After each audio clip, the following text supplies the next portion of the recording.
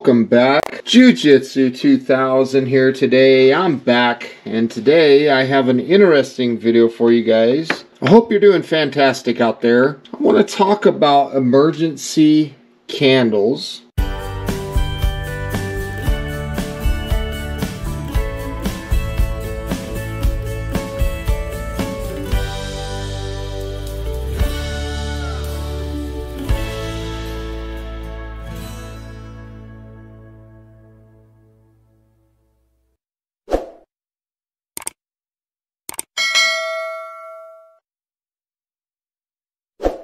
And I'm going to start with these small unscented taper candles. I can pick these up for a couple bucks and these work pretty good. I'm going to take two of these out. One of them is going to sit in a candle holder here. If I can get it in there correctly. We're going to set that there. And the other one is going to be put into a can of shortening. Okay, so Crisco and things like that. So what I want to do is I want to take the Crisco and I want to measure the height and I want to get this candle where it's just a little bit taller. So right there where my thumb is would be a good place to make this cut. Right here where my thumb is. So something like that. We're going to go ahead and take this top off. Expose the Crisco inside now we're going to turn this into a long-term candle. This thing is going to last a long time. So in the event that you're in a survival situation, you can use this technique. It's a very good technique. I'm just going to kind of trim around the wick a little bit. I want to just get that wick exposed, just the threads of it right there so I can light it. So I'm going to just kind of cut just very lightly, not cutting the wick itself, but just the wax around it so I can light it. So from here, we're just going to shove this right down in the center, all the way down until we touch the bottom. Pack, a, pack the Crisco around that candle. And we are pretty much done with our survival candle. This thing is going to last a long time. So there we have the wick a little bit exposed. Let's go ahead and see if we can light that wick. Get the candle going. We're going to set the timer to start. It's going to count up. We're also going to light this other taper candle next to it.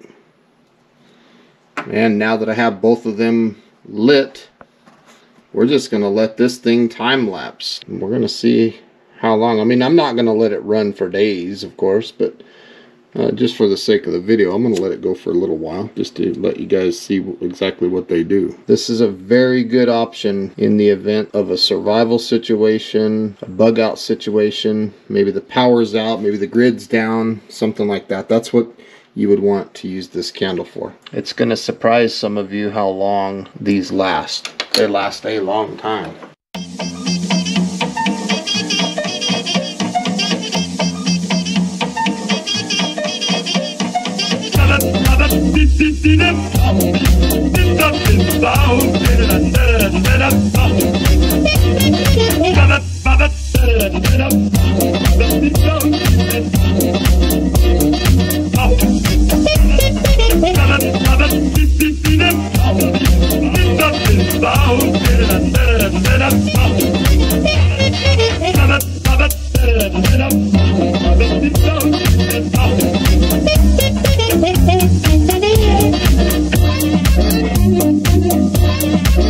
One